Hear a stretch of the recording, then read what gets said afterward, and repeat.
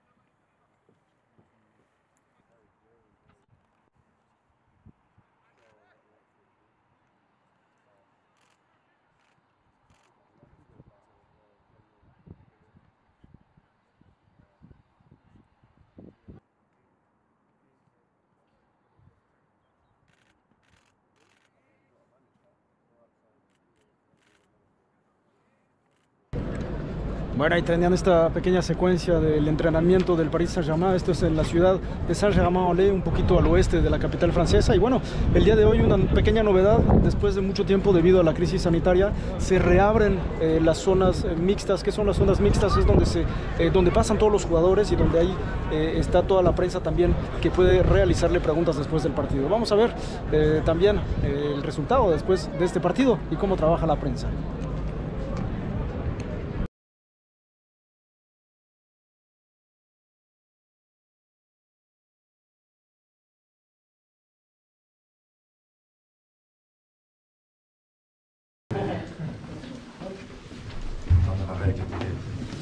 Je rentre dans un cercle très très fermé.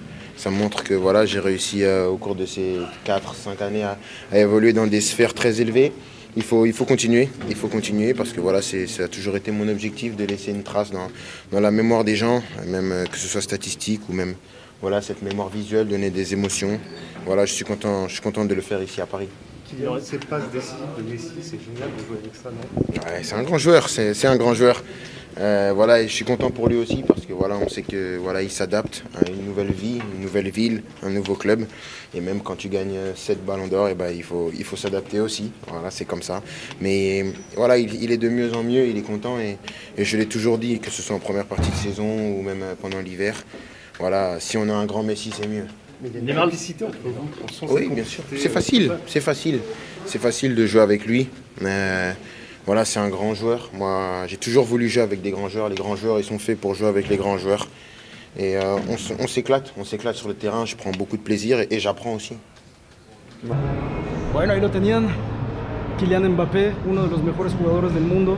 Y también, eh, bueno, el día de hoy el Paris Saint-Germain ganó 3 a 1 eh, con unos pases eh, formidables de Messi. Y bueno, Kylian Mbappé se convirtió en el tercer mejor goleador de la, la historia del club del Paris Saint-Germain. Entonces ahí tenían esas, esas declaraciones. Aquí estamos en el salón y bueno, espero hayan disfrutado y, y haber visto cómo trabaja la prensa, todas las televisoras que están ahí, bueno, que salgan grandes jugadores como Kylian Mbappé. Así que bueno, estamos aquí en los salones del estadio y yo con estas imágenes me despido.